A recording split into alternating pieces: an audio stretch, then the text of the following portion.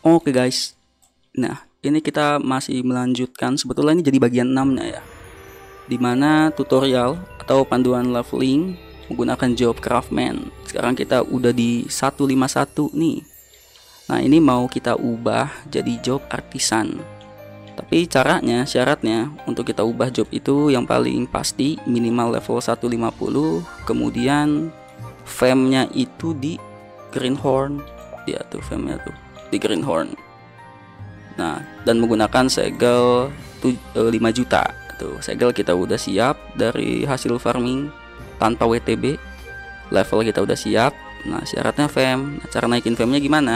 Sebetulnya banyak ya kalian bisa store quest DN atau kalian bisa uh, cari pakai letter terus bisa beli fam tiket nah itu yang belinya simpelnya nah, gratisnya gimana nah ada yang namanya quest 4 hero tuh nah 4 hero itu standar di silo online ya untuk teman-teman yang mau naikin fam dari recruit ke Greenhorn caranya gimana nah caranya mungkin kita mulai dari Elim dulu ya kita dari Elim Oke.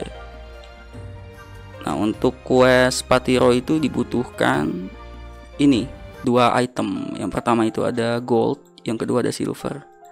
Nah, setelah kalian udah ada di Lime, itu di bagian C3 koordinatnya ada two tower of training. Kalian ke situ. Ini kita sambil jalan nyari bahannya juga ya, soalnya. Oke. Setelah sampai sini kalian bisa lihat ada yang namanya NPC di N. Pencet aja langsung tuh langsung aja tanyain oke terus masih triggernya masih warna merah oke nah berubah kan triggernya tuh jadi kita langsung masuk aja tuh ke warpnya oke setelah sampai sini kita tanya ini si Joan tunggu si Joan nah tanya tuh oke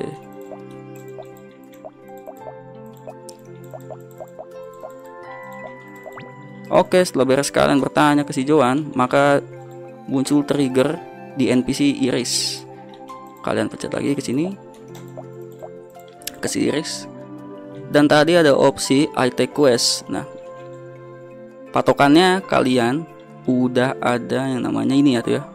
Heroes Wear Boots. Nah, setelah kalian dapat item quest ini, kita balik lagi ke depan ya. Coba bisa gak nih balik lagi ke depan?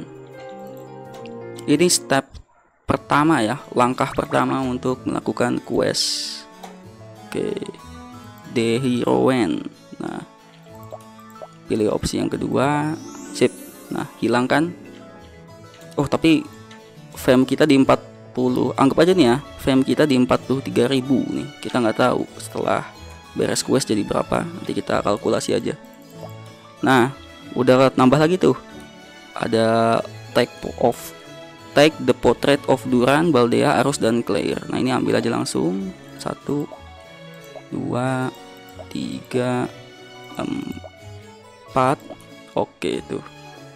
Nah ada empat ya.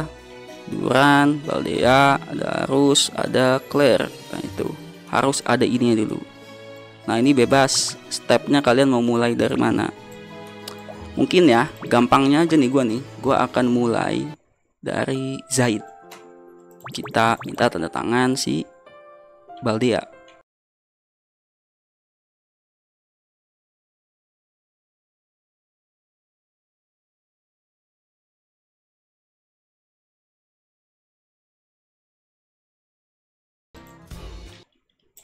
Nah ini udah masuk ya di tambang Klemen Nah ini kalian ikutin aja nih rutenya nih rute rel keretanya sampai ketemu jalan yang rusak ikutin aja ini rutenya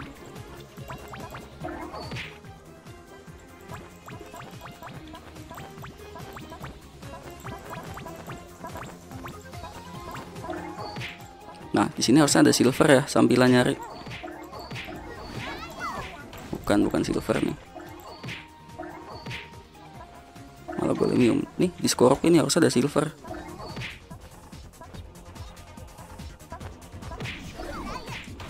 dapat juga tuh.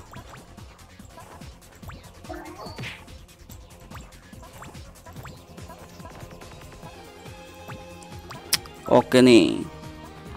Setelah ketemu jalan rusak kalian langsung ambil kanan. Ini kita sambil gebuk momon nih nyari silver. Mana silver coy nah ambil kanan ya. Tuh ada batu gede. Mana? Nggak ada dropan coy. Nih kalau udah ketemu batu gede begini kita menuju ke sebelah kanan. Patokannya tuh di sini. Menuju sebelah kanan. Wait wait wait wait tunggu dulu. Eh sakit juga anjing. Dihit dihit dihit. Nih. Dapat silver. Oke dapat tuh satu. Mayan langsung kok. Itu bahannya nih bunuh kau deh bang. Waduh bunuh kau deh gitu eh kuat gak ya? Kita juga nggak tahu ya. Nih ikutin aja jalannya. KUD kalau ada kita hantem. Jadi mafia kita jadi mafia. Nah ini kan silver. Udah kita siapin ini bahan quest nanti kita ke Crow tengah sungai Mimir tuh untuk ngambil mencari gold. Gold itu fungsinya dia itu di bagian di si NPC apa tuh lupa gua. Di lime aja tuh. Jadi ada tentara tuh. Tentara. Ada tentara tuh. Suruh kasih emas dulu kita coy. Baru dia mau ngomong. Harus disogok dulu. Kisahnya. Kisahnya. Tentara NPC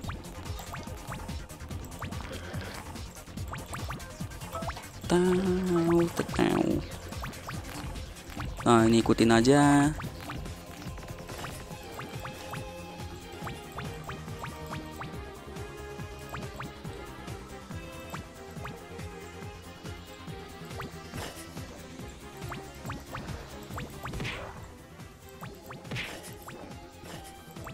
ambil kanan di sini. Terus ikutin jalurnya tuh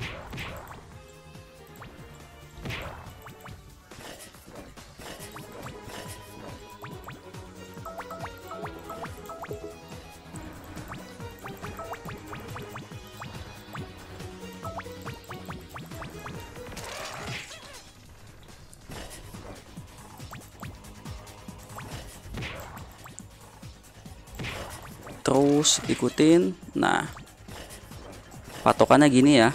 Kalau kalian ketemu bentukan mapnya kayak gini artinya kalian berada di step yang bener tuh ada jurang di tengah-tengahnya nih. Jurang kan tuh? Nah ini bener nih jalannya. Terus ikutin terus. Oke. Nah sini kalian belok kanan masuk ke sini nih. Kalian masuk oke. Nah di sini biasanya ada bos yang namanya KOD uh ada tuh KOD kuat gak ya? Kuat gak guys? Kira-kira. Kita nggak tahu. Kita hantam coba aja nih. Mati-mati dah sekalian. Nah kita ke kanan lagi karena kita mau ngambil beresin quest yang Baldia ini ya. Ke sini. Tuh. Ada NPC Green Hair Elf. Oke. Kita tanya oke set. Opsi ketiga. Oke beres tuh. Baldia kita dapat tanda tangannya sisa tiga quest lagi kan? Nah tadi ada KOD tuh. Kita cek aja kali ya. Dia apaan di dalamnya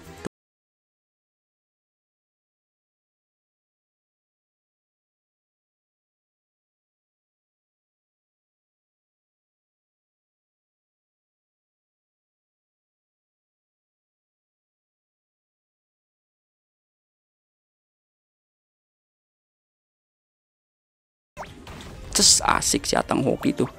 Dapat permata. Lumayan. Oke kita lanjutin lagi questnya.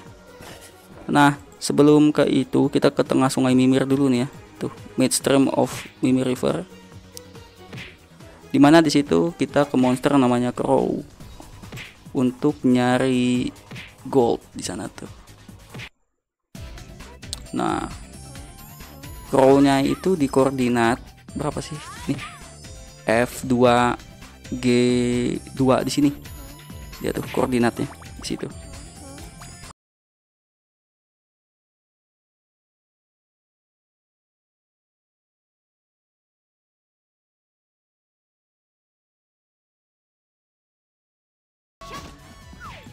Wah si pocong tuh Oke kita sudah dapat gold Setelah kita dapat gold Ini kita akan ke Elim Di Elim ya Untuk melanjutkan questnya. Nah di step ini kita menuju quest arus. Arus itu untuk dapetin tanda tangan ya. Kalian harus ke bar dulu di sini. Tuh. Ini ke bar Nanti ini gue jual-jualin dulu kali. Kebanyakan tasnya nih puyeng. Oke. Tunggu ya kita jualin dulu Jual aja dah supaya nggak pusing Jual Jual jual jual Jual oke Nah Tuh, ada yang namanya NPC Black Hair Kenaik. Kalian langsung tanya aja. Oke, terus tanyain. Oke, lagi tuh. Opsi nomor 2. Can you give me your signature? Udah dikasih tuh. Signaturnya.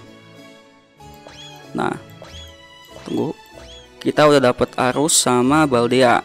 Nah, sekarang kita coba ke Claire. Gak usah jalanin quest arus bisa gak dapet tanda tangannya tanpa perlu jalanin quest yang kalau quest dari si Arus itu ke Madelin ya ke Sina tuh bisa gak nih tanpa quest ke sana.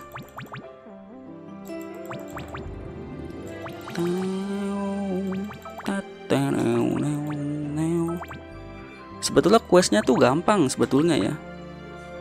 Sebetulnya. Ya, yang bikin susah itu ininya step-stepnya. Noble Madam coba nih. Mana nih bisa gak dia? Coba oh nggak bisa berarti kita harus jalanin questnya dulu ya triggernya nggak ada soalnya jadi kalian harus ke Sina dulu balik lagi aja ke bar nih gampang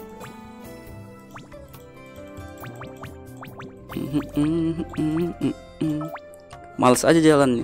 Iya males. Sebetulnya hampir semua questnya sih. Misalkan nih quest EP1, EP2 sama BED itu 70% tuh males jalannya. Nah, kita balik lagi nih ya. Berarti kita harus jalanin quest arus ini dulu. Oke, nggak apa-apa. Jadi kalau kalian punya problem kok di kita e, mau minta tanda tangan si Claire-nya nggak bisa ya nggak bisa harus jalanin quest arus kayak gitu nah dikasih quest kan tuh yang di mana di detailnya itu deskripsinya kita disuruh ke Madeline mana nih? Madeline Madeline Madeline nah oke. Disuruh ke Madeline ke Pramal. Shina Pramal Shina. Oke. Tuh. Nih koordinatnya di sekitar apa nih sebutannya ya? D5 D5 E5 minimapnya tuh ke arah sini. Nah.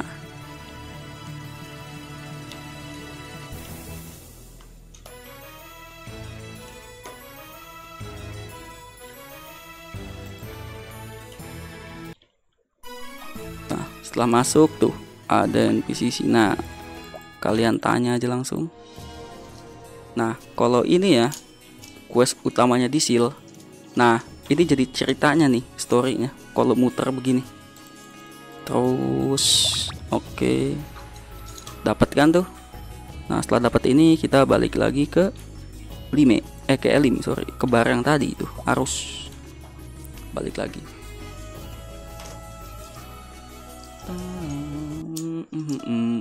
Balik lagi jadi ke bar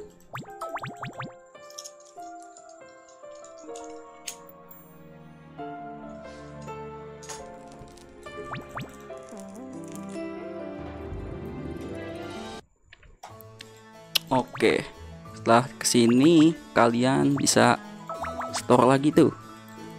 Ke Black Knight, complete the quest. Oke, beres, sip. Triggernya hilang, dan kita mendapatkan platinum 20 artinya harusnya udah bisa ya kalau itu. Nah ini kita balik lagi ke clear tuh ke L5 atas yang tadi. Platinumnya kita taruh sini aja dulu. Nih clear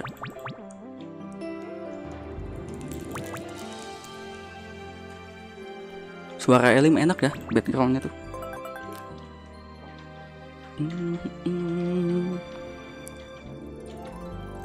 Tuh NPC Noble Madam. Nyalakan dia triggernya? Oke. Terus tanyain tanyain lagi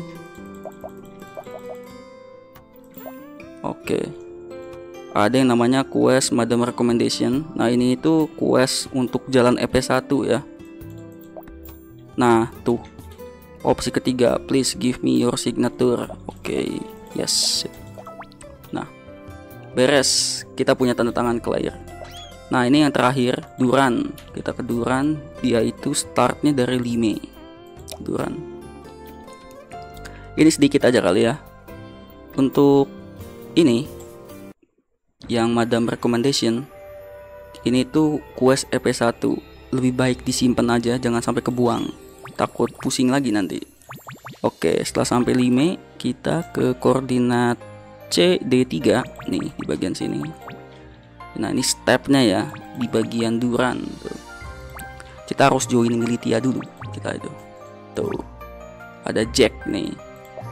Tuh opsi nomor one I want to join the militia. Oke. Okay. Oke, okay, dikasih tuh.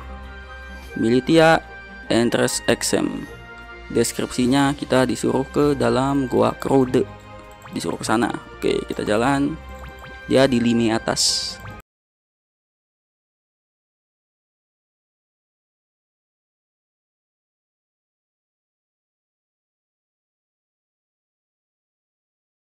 Pernah main silo online memang harus pelan-pelan banget. Jangan sebisa mungkin jangan ke skip bahkan tuh. Nah tuh tuh exit dungeon. Kita ke sini ke bagian kiri ya. Kalian bisa ikuti ini. Anjing malam jadi siang gak tuh? Iya gue nih jadi Batman anjing. Jadi Batman gak tuh? Ya lagi bisa long streamnya startnya dari jam seg jam segitu ya. Itu bisa jadi panjang enak aja.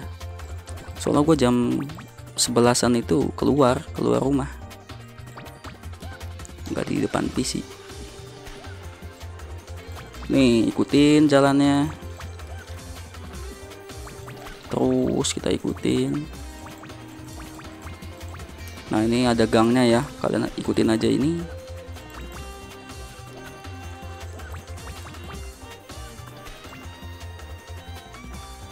Oke, ini belok kanan. Nanya kalau ada pertigaan belok kiri di sini. Jangan lupain ya tanda-tandanya tuh. Nah, di sini kita belok kiri lagi. Gak puyeng apa bang? Uh, parah puyengnya. Puyeng, beneran puyeng. Tutorial sakit kepala pak. Sakit beneran coy palanya. Nah kalau udah sampai sini artinya kalian bener stepnya ya. Kita lewat ini jembatan ini. Tuh ada NPC namanya NPC Cordelia. Kalian tanya aja langsung kepada NPC Cordelia tuh. Oke beres. Di sini ada tulisan yang namanya Cordelia Proof. Dia tuh. Ini kasih makan dulu. Nah setelah kalian dapat Cordelia Proof balik lagi ke Lime. Kita balik ke Lime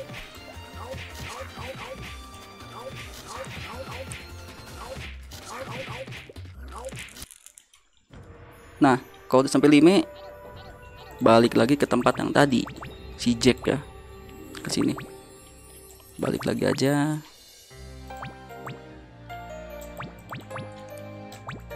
Tuh.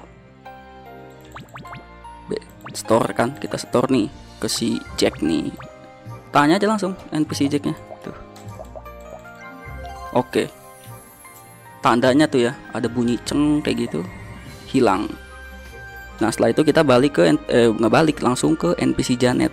Nah di sini tuh ada opsi yang nomor 5 By any chance do you know where Duran? Oke opsi 5 di sini opsi kedua opsi pertama. Oke tuh. Triggernya begini ya. Nah tanyain lagi ke Janet ada apa aja? Oh udah habis semuanya dia. Ini kosong ya. Kalau udah kosong gini ke mana? Nah ini ke lupa gue nama NPC-nya apa. Yang pasti di belakang nenek Flora tuh. Di belakang rumah nenek Flora tuh kita ke sana. Koordinatnya sekitaran E4D5 E4E5 sekitaran sana koordinatnya tuh. Jalan menembus pasar. Oh. Oh nih tuh tuh namanya NPC Sly Nah ini kalau kalian nggak ada triggernya, kalian nggak bawa gold. Di sini nih kepake nih goldnya. Slide. Speak. Suruh ngomong. Oke, tuh. Give gold. Kasih goldnya nih. Tuh. Terus patokannya kalian dapat silet blue liquor artinya beres yang di selainnya setelah itu ke mana? Balik lagi ke Elim balik lagi. Pasarnya rame ya bang? Iya lumayan lumayan rame pasarnya. Rame itu ada yang WTB ada yang WTS ya. Ada vending biru sama vending ini juga. Vending uh, biasanya tuh. Nah kalau udah beres dari Sly kita balik lagi ke bar yang ada di Elim tuh. Tapi bukan ke arus. Nah di sini itu ke NPC yang namanya Rosane. Nah ini kita pakai silvernya. Kalian tanya langsung Rosanenya tuh. Pilih number 3 oke. Keluar dia triggernya kan? Dia keluar item quest namanya Rosane Jewelry. Lanjut. Nah di sini kasih present jewels. Oke. Hilang dia Nah, kalau udah sampai sini, tanyain lagi. Pilih opsi show the, oh, show the portrait of Duran. Nah, terus oke, okay, beres. Ada item quest namanya First Knight. Artinya kalian disuruh ke kuil Adel. Kita ke kuil Adel. Mana Adel Monastery? Mana Adel Monastery? Adel Monastery, mana kau? Hmm, mana cok? Ada monasteri cok. Hilang cok. Di mana sih? Kok nggak ada di sini? Oh ini.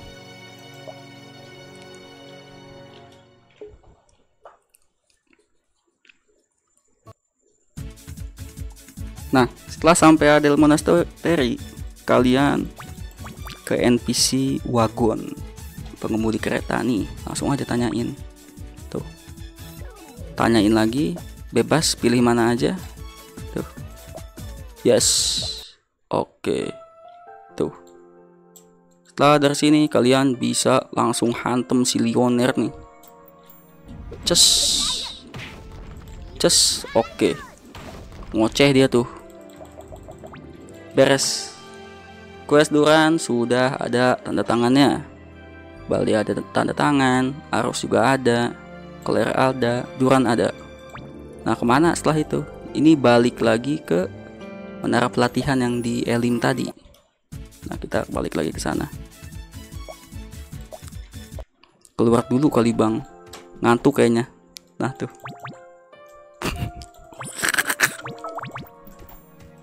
Kantuknya itu udah bukan gak di, udah nggak dibuat-buat bang. Udah parah banget ini nggak dibuat-buat nih. Mana nih? Nih sini menara pelatihan masih live aja. Ini nih terakhir quest. Tamat dulu. To tower of training. Nah setelah sampai sini kita setornya ke NPC yang namanya di Horwen. Oke. Okay? fam kita dari 44.760 kita tanya. Tuh present ya. Opsi 6 1 2 tiga empat. Beres. Nah misalkan kalian di step inilah Kok cuma jadi 48.000 nggak jadi greenhorn. Ini belum selesai. Kalian tanyain lagi Si NPC di hero ini Oke tuh pilih opsi nomor satu. Oke beres. Sekarang fame kita menjadi 58.000 Dan greenhorn Nah untuk quest 4 hero kurang lebih begini dulu Semoga video ini sedikit membantu dan sorry kalau misalkan videonya terlalu panjang. Dan sekali lagi thank you sudah menyimak video ini. See you again in another content, my friend.